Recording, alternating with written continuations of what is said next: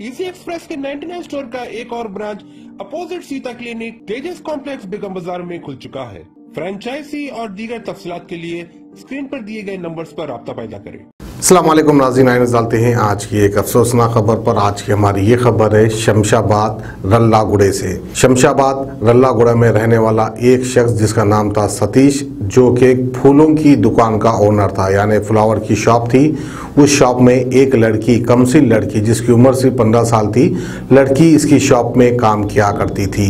लड़की की गरीबी का फ़ायदा उठाते हुए सतीश ने इस लड़की के साथ लगातार कई बार बलात्कार किया है। इस तरह का इल्ज़ाम आयद किया है लड़की के घर वालों ने और लड़की ने।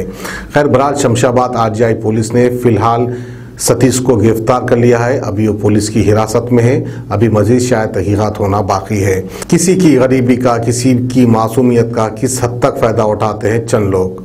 बहरहाल, कानून सबके लिए है। कानून हर एक के लिए बराबर है। अमीर हो या गरीब, इंसाफ हर एक को मिलेगा।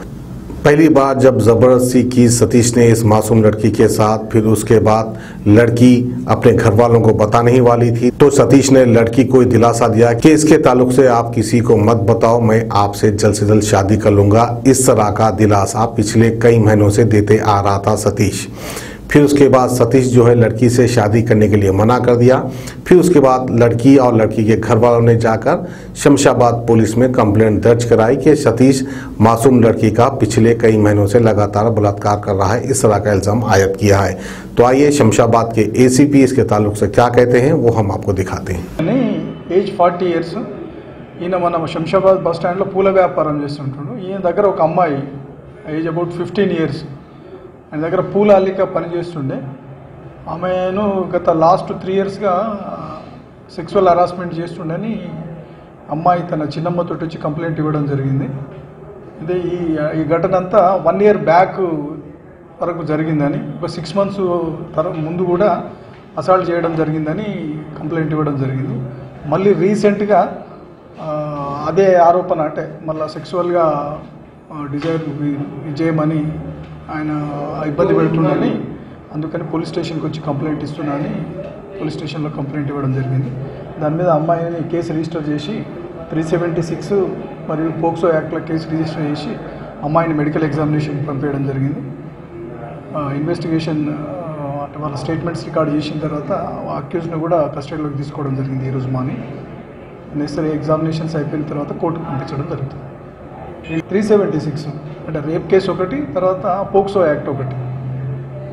పైన కూడా ఓపెన్ చేయడం జరుగుతుంది. ఇప్పుడు ప్రజెంట్ అమ్మాయి ఇక్కడ ఎవరు వాళ్ళ చిన్నమ్మ దగ్గర ఉంటుంది. ఎక్కడ పని చేస్తుంది అంటే ఇప్పుడు కూడా ఉన్నారు వాళ్ళు. వీడు కూడా ఉండేది రాళ్ళగూడలనే. ఇంకా వాళ్ళ తల్లిదండ్రుల డీటెయిల్స్ అవన్నీ మనం ఇంకా ప్రూవ్ చేయలేదు. జస్ట్ అవి అవి తీసుకుంటాము. ఆమె అమ్మాయి కొంచెం అంటే చూపు కూడా కొంచెం ఇబ్బంది ఉందని చెప్పినది. అవన్నీ సర్కమస్టెన్సెస్ అవన్నీ ఒకసారి వెరిఫై చేస్తాము